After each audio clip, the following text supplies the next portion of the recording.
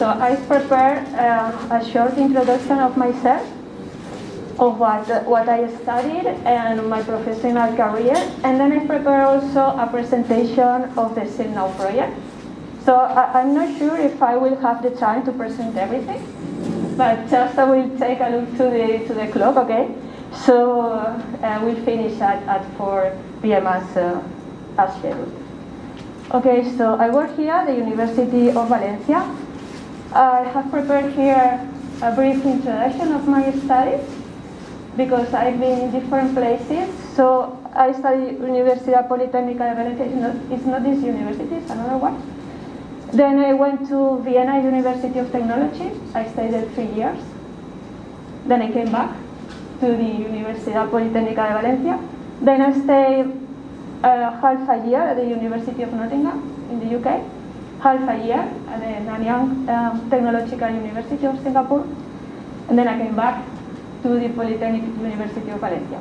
Okay, that is regarding my um, studies. I will go uh, one by one. Okay. So, what I studied in, in University, uh, Polytechnic University of Valencia is topography. It's a degree of three years, and after these three years, you can study two more years for the geodesic cartography uh, degree. So I do these three years in um, in uh, topography, and, but I specialized or I made an intensification in, in photogrammetry. So I was researching, I was doing my final year project in uh, 3D reconstruction on photo models. You can see there some pictures of my final year project. Yeah. So I got, I, I finished the first diploma degree with honors because I had the best academic record of uh, more than 170 students. And I got this uh, San Isidoro Prize for, for that. So after that, I moved to, to Vienna. Is there anybody here from Austria? No? Okay. So I moved to the Technische Universität Wien, and I went first as an Erasmus student. It was only one year at the beginning, but I liked so much um, because at that time uh, things were very different here in Spain, or at least the university where I studied, compared to, to Vienna. So, technologically speaking, there were many more resources there for students than, than in Valencia. So, despite that, I, I first went for only one year as Erasmus, I decided to apply for more scholarships and to stay there. The problem to stay there is that, uh, and to finish there my studies, is that there were not uh, relationships between the two universities at that time. So all that I studied was not going to be convalidated and things like that. So what I did when I went there with uh, my scholarships is to convalidate all my studies, subject by subject, that I did in Valencia, in order to be inscribed as a regular student. So I finished as a regular student my master's degree in surveying and geoinformation and then I came back to Valencia and I convalidated one by one all my subjects to have this uh, degree here in Valencia as well. So the last year I was there at the um, Technische Universität Wien. I had a Leonardo da Vinci grant at the Institute of Photogrammetry and Remote Sensing. And I was um, like working there. It was like a kind of training. And the work that I did there at the Institute of Photogrammetry and Remote Sensing was regarding the geometric uh, rectification of airborne multispectral data with uh, GPS and information from inertial sensors.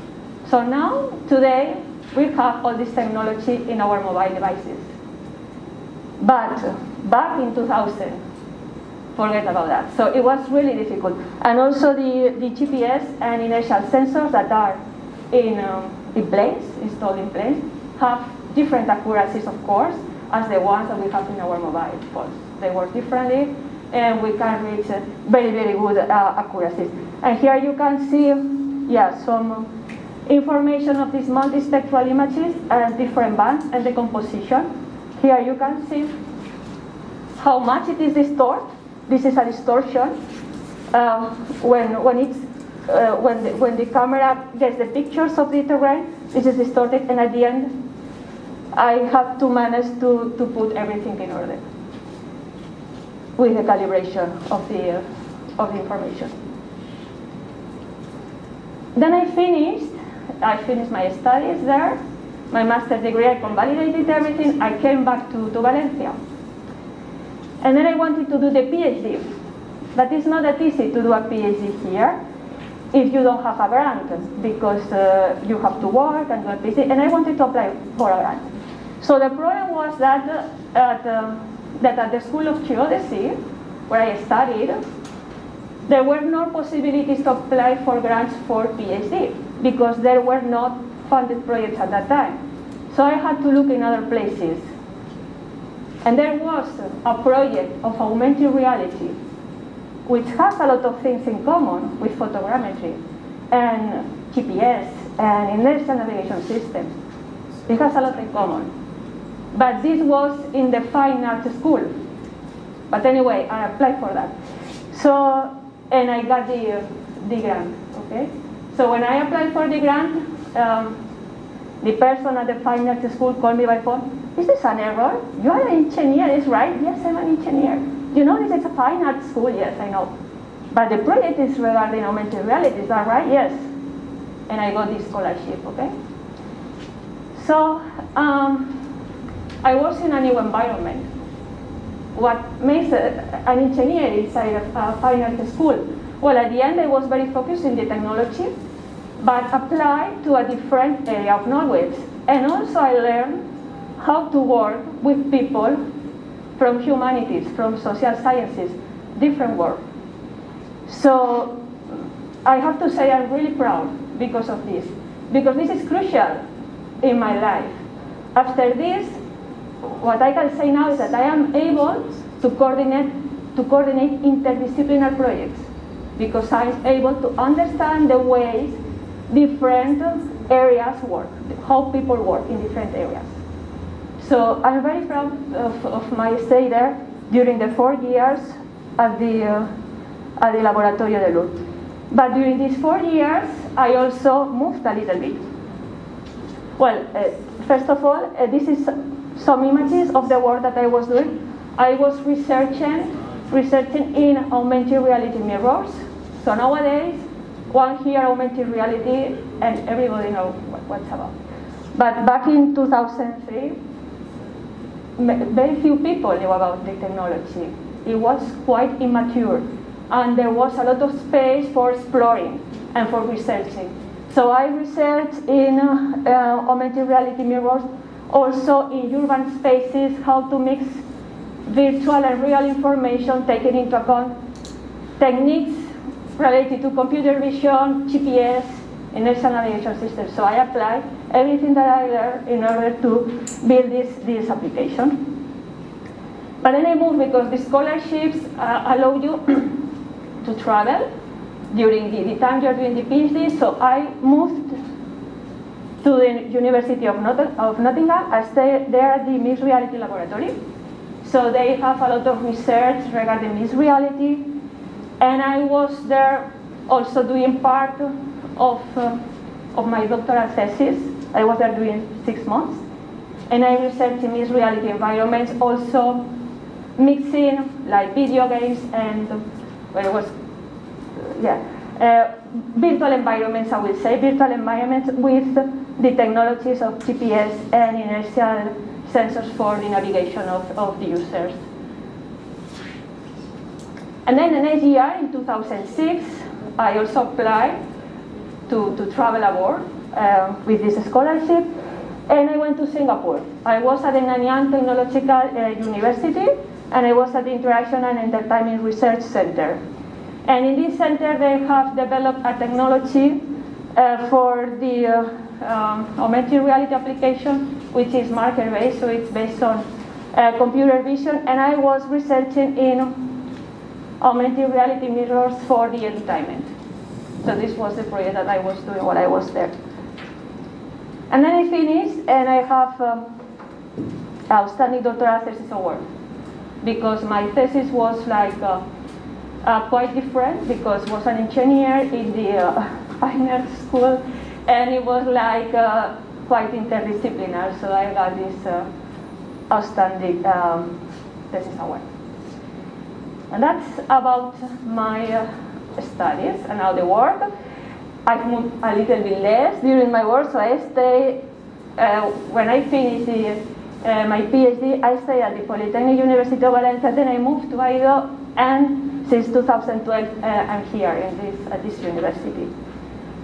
So what I did, I joined the research group in photogrammetry and laser scanning, and I was there um, very involved in projects related to cultural heritage.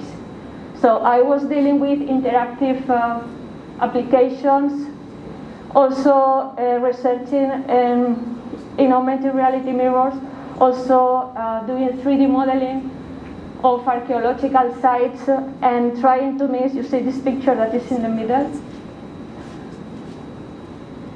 You see this part is a, is a photograph, is a picture, and this is the 3D reconstruction. So it's like trying to combine um, yeah, the, the, archaeological side with uh, the reconstruction with the help of uh, other people that uh, research on how this could be, the, the, how these sites could be in the, in, in the past. No? I, I did this reconstruction. And I also was uh, involved in projects uh, related to 3D staining. You see there the, these stone monuments from uh, Jordania, from Jordan, and in thermal imaging as well. And then when my contract finished and I went to, I moved to the Industrial Association of Optics, Color and Imaging, it's named AIDO. It's a research institute, but it's not linked to a university, so it's outside the academy. But it's also a research institute. And then I was working with applications related to industry. So uh, first, I just put here some of, of the projects I've been I've been involved. Here uh, you see on the left you can see a, a laser. You can see, see here some glasses and you can see a laser, a line laser. And this moved, and because of the moving, there was a camera recording everything. This is the camera, and we could have the the cloud of the the cloud of the the 3D clouds of these uh, of these glasses, and then some I did some calculations in order to calculate the indent so this is the, the, the space where, where the, the, the glasses stick. Okay, uh, uh, this was one. This uh, another 3D, uh, the obtention of 3D cloud of points by means of different technologies, by computer vision, um, with stereoscopy, with uh, fringe pattern, So Takeda, I remember this, this technique. And then also here I put uh, an image also. This was a picture taken from an infrared camera, and with this image we could see some special properties, and these are some grapes as collected, and I auto automatically detected uh, things that were not grapes and classified them according to leaves and other things. Okay, and this was needed in order to calculate from the industry to calculate the quality of, of the harvest, of, of what it was recollected. Because if there are a lot of leaves and uh, a lot of things that are use, uh, useless, the quality is, is worse, something like that. So this is uh, yeah, uh, automatic uh, recognition.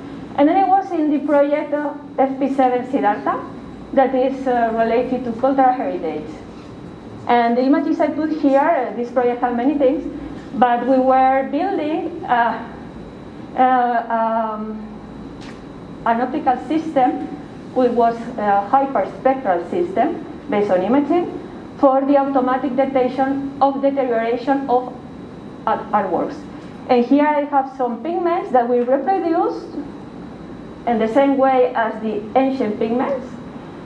I have here some spectral curves taken from the infrared camera, uh, from the uh, multispectral system.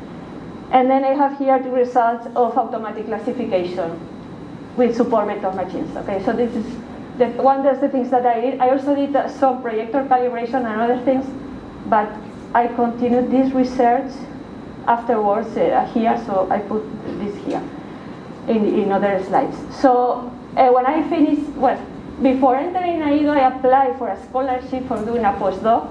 And you know, from when you apply until you get the postdoc, there's like one a year that, that goes through. So I got, while I was working in, in AIDO, I got the communication from the Ministry uh, of Spain that I had the postdoctoral grant Juan de la Cierva to come here to the Institute of Robotics and Information and Communication Technology. So I left AIDO and I came here.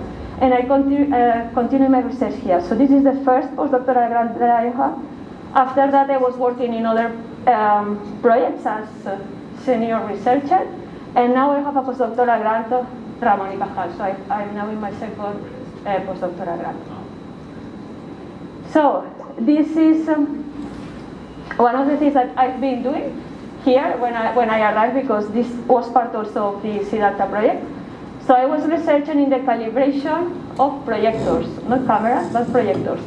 And I applied that uh, for cylindrical surfaces, like uh, you don't see this image so much well, but here's a cylindrical surface here.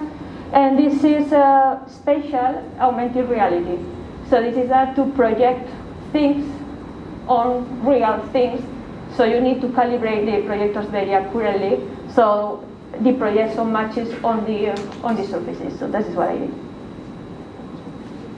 And I also was involved in other projects also related to augmented reality. For instance, this one is a project for um, to develop an application for the inspection of uh, prefabricated buildings. Uh, so that the inspector goes with a tablet and can see through the tablet the real space and also augment it with other information and he or she can take automatic annotations. Just clicking and, he, and these annotations that he writes they are stored in the virtual building that is exactly the same as the real one. So this is then everything translated into um, a system that stores all this information. Okay so this is where I was working here and now I'm very involved uh, in the, uh, in the project Siddhartha that I'm going to explain you now. But just uh, I would say that uh, this is about 3D uh, representation of fabrics at the yard level. Also, there's, there's something regarding to, there's a, a research in spatial temporal visualization of data. And it's everything for the digital cultural heritage area. So if I have the time, I hope, yes, I think it's have the time. I will talk about this project now. So where do I work? I work here, okay? But I'm involved both at the Institute of uh, Robotics and Information and Communication Technology and at the Department of uh, Informatics. So here, in the first one, I do my research, and in the second one, I do teaching. So so I'm principal investigator now of two projects. One is called CEMAP. It's a small project, uh, but it's for the uh, spatial temporal uh, visualization of uh, cultural heritage. So it's a little bit related with SILKNOW, but with a broader area. So SILKNOW is only for silk, and this involves many other things. And we are using also different technologies in, in both projects. So my teaching, um, I teach in two subjects. One is um, graphical expression, um, where I work with my students with AutoCAD, SketchUp for 2D, uh, two-dimensional, three-dimensional representation of objects. And then I got this uh, data visualization, where I especially work with my students with the uh, georeferencing data, so data that has this geographical information, how to represent this data on a map. What is a map and what is the best representation according to the purpose. So I do other things. So I'm founder and co-editor-in-chief of one journal that is called Multimodal Technologies and Interaction with uh, editor-in-chief uh, Mark Billinghurst. Mark Billinghurst is a pioneer, pioneer in augmented reality. He's at the very top level of, of this technology, so I'm very proud that he accepted my invitation because I am inviting him and he said yes, so I'm really happy. And then I also, I'm head of institutional relations at the Association Ciencia del Parlamento. So at this association, what we are trying to do is to uh, to open links, uh, to open avenues between science, politics, and society. And we went to the parliament in 2018 because uh, the Spanish parliament didn't have a, a scientific office.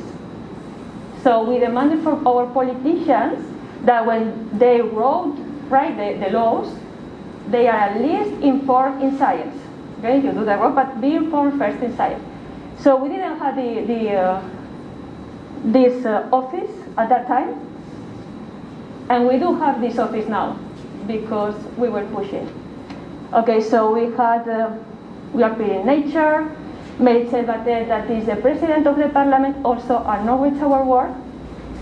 And yes, we were very happy. We were presenting our results also to the to the table of the uh, of the ministry of the in Madrid. Okay, and today we are very proud to say it's very recent uh, the creation, but that we have this office. Okay, so that's regarding my uh, trajectory. My thank you. and, then, and let me show you the other one.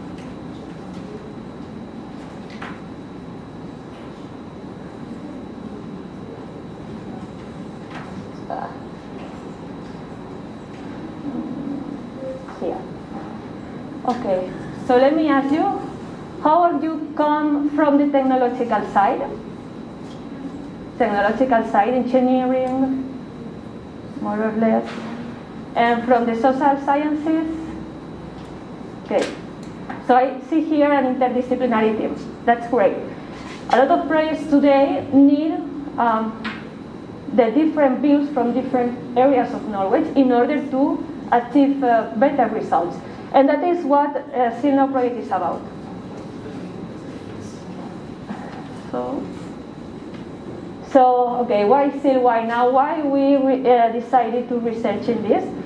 Well, silk is not only something related to the past, it is still alive in our traditions here. For instance, you can see a fallera.